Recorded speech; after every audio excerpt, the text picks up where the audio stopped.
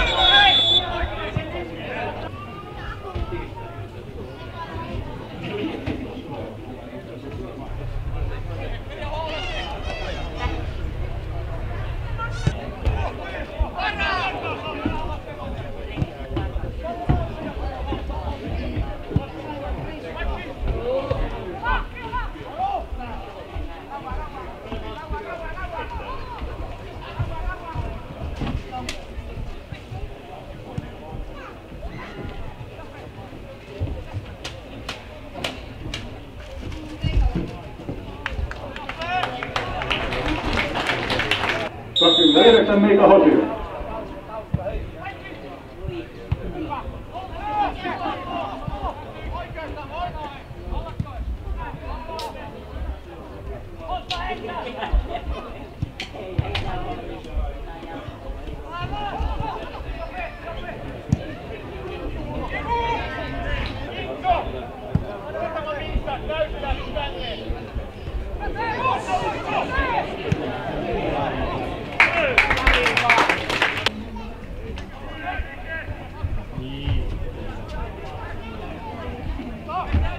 it.